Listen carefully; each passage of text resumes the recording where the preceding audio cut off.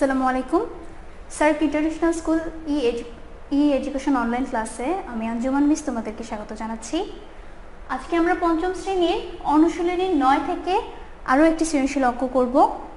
দেখো, আমি প্রশ্নটা আগে এখানে লিখে রেখেছি যে পনেরো পার্সেন্ট লাভে দুই হাজার চারশো পঞ্চাশ টাকায় একটি ফোন বিক্রি করা হলো।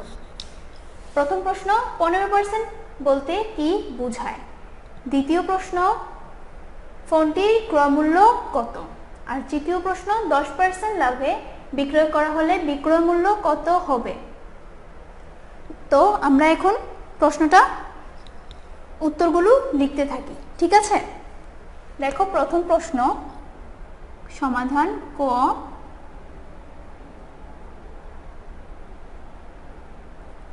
পনেরো পার্সেন্ট কি বলতে কি বোঝায়? আমরা জানি শতকরা পনেরো পার্সেন্ট বলতে বোঝায়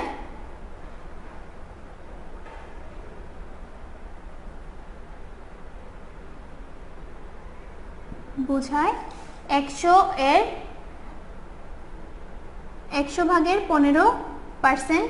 এখন তোমরা এটাকে যদি এভাবেও লিখে দাও, তাহলেও হবে যে একশো ভাগের পনেরো। ক নম্বরের উত্তরটা তোমরা সহজে এভাবে লিখে দিলেও হয়ে যাবে। খ নম্বরে দেখো, বলেছে কি, ফোনটির ক্রয়মূল্য কত? আমরা এখানে ক্রয়মূল্য জানি না, শুধু এখানে দেওয়া আছে যে পনেরো পার্সেন্ট লাভে তিন হাজার চারশো পঞ্চাশ টাকায় একটি ফোন বিক্রয় করা হলো।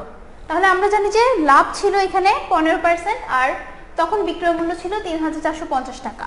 তার মানে অ্যাকচুয়ালি ক্রয় মূল্যটা কত সেটা আমরা জানি না, আমাদের ওইটাই বের করতে হবে। তাহলে আমরা এখানে ধরে নিতে পারি যে মনে করি ক্রয় মূল্য একশো টাকা। একশো এখন আমরা কি করব? এখন আমরা লিখব পনেরো পার্সেন্ট লাভে ক্রয় মূল্য একশো টাকা হলে বিক্রয় মূল্য একশো যুগ পনেরো সমান একশো পনেরো টাকা। আমরা এখন লিখব এখানে যে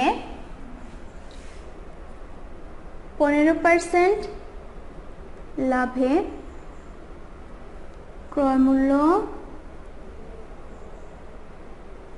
একশো টাকা হলে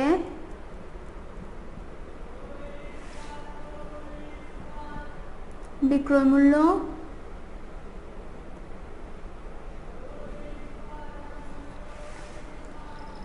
একশো সরি এখানে আমি একশো লিখব।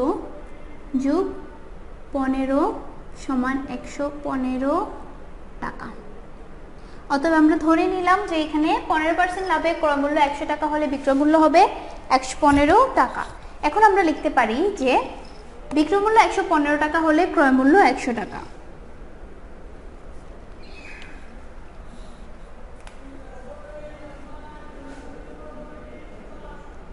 বিক্রয় মূল্য একশো পনেরো টাকা হলে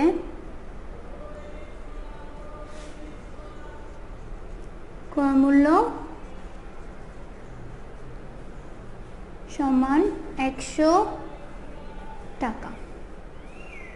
তারপর যথারীতি আমরা লিখব, বিক্রয় মূল্য এক টাকা হলে ক্রয় মূল্য সমান, এখানে বলো তো একশো পনেরো কোথায় যাবে আর একশো কোথায় লিখব আমরা?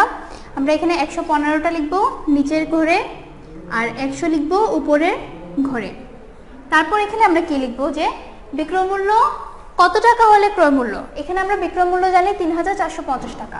তাহলে এখানে আমরা লিখব অতএব বিক্রয় মূল্য তিন হাজার চারশো পঞ্চাশ টাকা হলে ক্রয়মূল্য সমান। এখন আমরা এখানে উপরে হবে একশো গুণ তিন হাজার চারশো পঞ্চাশ, নিচে হবে একশো পনেরো।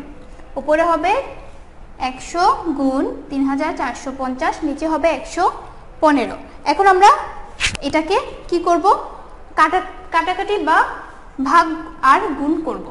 তো আমরা চলো হিসাবটা শেষ করে ফেলি। তোমরা সবাই বাসায় নিজে নিজে হিসাবগুলো প্র্যাকটিস করবা। আর আমি এখানে দেখিয়ে দিচ্ছি। দেখো, এখানে যদি আমরা এটাকে তেইশ দিয়ে ভাগ করি, এখানে হবে ছয়শো নব্বই। এখন দেখো, তেইশকে যদি আবার ত্রিশ দিয়ে গুণ করি, তাহলে এখানে পাবো আমরা ছয়শো নব্বই। তেইশ আর ত্রিশে গুণ করলে আমরা পাবো ছয়শো নব্বই। আর এখানে আছে একশো।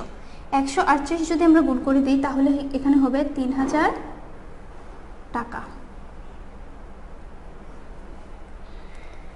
তো একদম লাস্টের লাইনটা আমরা কি লিখব?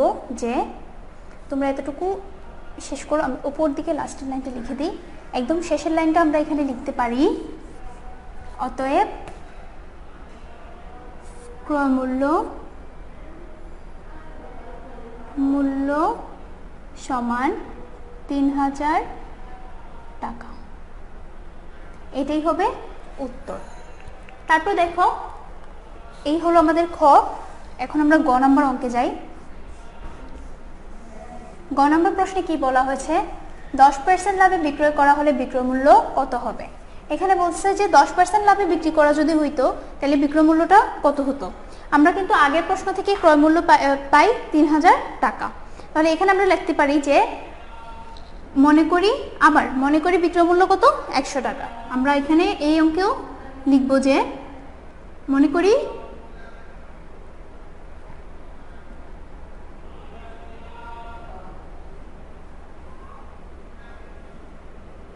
মূল্য একশো টাকা। তার উপর লিখব আমরা দশ পার্সেন্ট লাভে বিক্রয় মূল্য। লাভে বিক্রয় মূল্য। বিক্রয় মূল্য হবে কত? একশো যুগ দশ টাকা সমান একশো দশ টাকা। তারপর দেখো, আমরা কি লিখতে পারি? ক হতে পাই ক্রয় মূল্য তিন হাজার টাকা। আমরা এখানে লিখব, খ হতে পাই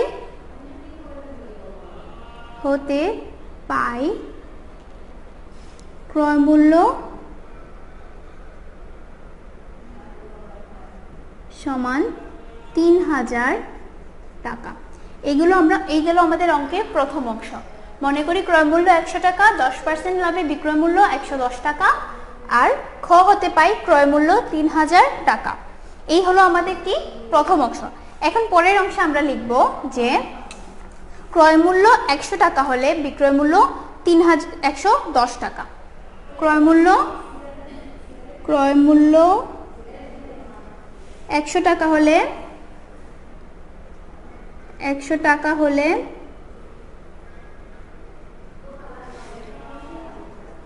বিক্রয় মূল্য বিক্রয় মূল্য সমান একশো দশ টাকা। আবার অতএব ক্রয় মূল্য এক টাকা হলে বিক্রয় মূল্য সমান একশো ভাগের একশো দশ টাকা। অতএব বিক্রয় মূল্য কত হলে? তিন হাজার টাকা। সরি সরি ক্রয় মূল্য তিন হাজার টাকা হলে বিক্রয় মূল্য সমান একশো ভাগে একশো দশ গুণ তিন হাজার টাকা। এখানে আমরা লিখব একশো ভাগের একশো দশ গুণ তিন হাজার টাকা। এখন আমরা সহজেই এটা কি করতে পারি?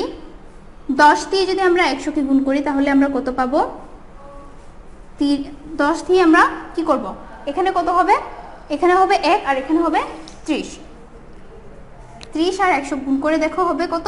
তিন হাজার। তাহলে এখানে পেলাম কত? ত্রিশ আর এখানে আছে একশো দশ।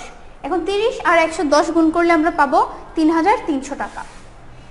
আমরা এখানে উত্তর পাবো তিন হাজার তিনশত টাকা। তাহলে উত্তর হবে যে অতএব দশ পার্সেন্ট লাভে বিক্রয় করা হলে বিক্রয় মূল্য হবে তিন হাজার তিনশো টাকা। এটাই হবে উত্তর। এই গেল আমাদের তিন নম্বর দুই নং সৃজনশীলের গ নম্বরের উত্তর। আশা করি তোমরা সবাই বুঝতে পেরেছ। পরের ক্লাসে আমরা অন্য কিছু করব। ততদিন পর্যন্ত সবাই ভালো থাকো সুস্থ থাকো আল্লাহ হাফিজ।